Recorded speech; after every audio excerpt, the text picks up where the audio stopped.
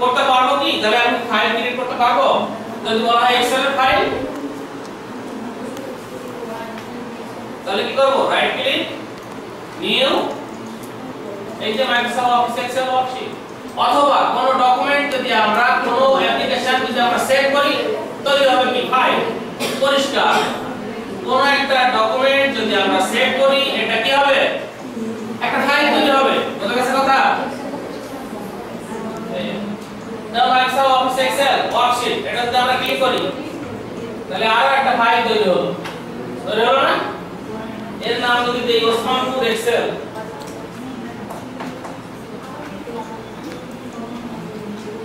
Osmanpur Excel file দিয়ে enter দেন যদি পারেন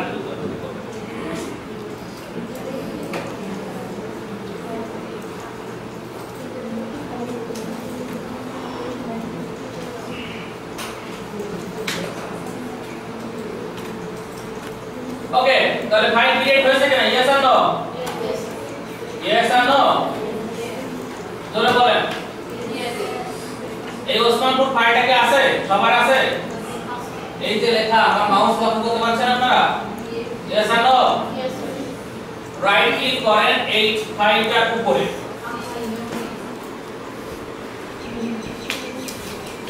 এরপরে ওপেন ক্লিক করেন ওপেন লেখার দরকার নেই আপনার জাস্ট কম্পিউটার না দেখে তো বুঝতে পারবেন না ওপেন ক্লিক করেন করছেন ইয়েস আর নো এরপরে এর ভিতরে দেখেন একটা অর্ডার ফাইল তাই না ইয়েস আর নো তাহলে এখন এই অর্ডার ভিতরে যদি আমরা এখন লিখি দিস ইজ ওসমানপুর ভিলেজ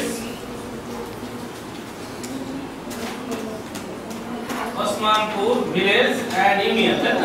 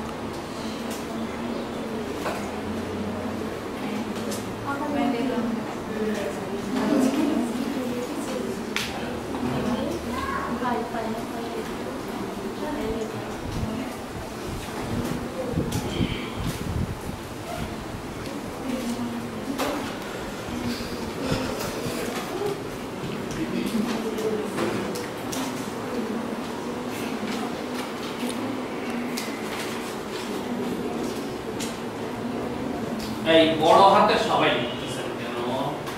আপনি লিখছেন বড় হাতে লিখবেন বড় ছোট মিলাই লিখবেন, সব বুঝা কথা?